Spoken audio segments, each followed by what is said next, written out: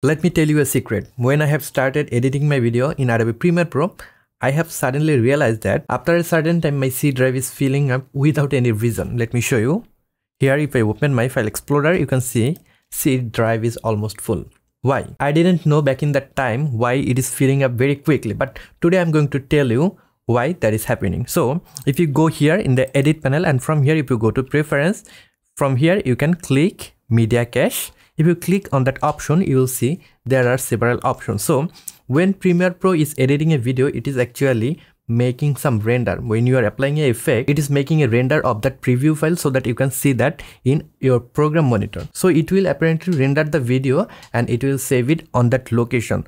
For me the location is c user jpstream app data roaming adobe common. This is the folder right? But you can change that folder if you don't want to fill up your c drive then you can change the folder or change the drive where you want to save. Suppose you have a external drive. Then you can just click here and then you can select external drive. Maybe this one or this one. Then that file will be saved there. Suppose i want to save it here on my nas so i'll click here on this drive and i'll make a new folder and i'll name it media cache. And then i'll select this folder. From now premiere pro will render the file and it will save the file on that folder. So it will not fill up my C drive. And again what you can do you can delete your previous rendered file. If you click here on this delete button it will delete the previous rendered file that is not necessary for you. So after a certain time when you have finished the editing process of any project you don't need that cache file. Then you can delete that files right?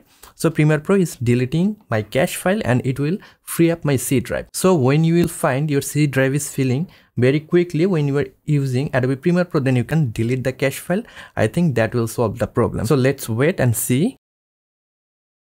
So it has completed the deletion process. Now let's get back to file manager and see if that has free up some space from my C drive, right? So if I get back here, yeah, you can see it. It has free up some space from my C drive. So you can delete the cache file to free up some space from your C drive or whatever drive you're using. And again, from here, you can change media cache database uh, folder that is also consuming some space. And again, you can enable automatically delete cache file older than I'll put maybe here 15 days. So it will delete all the files that is older than 15 days. Now if I click OK, I don't need to get back and delete the files again and again. It will automatically delete the older files. So that is how you can free up some space from your C drive if you're using Adobe Premiere Pro for your video editing process.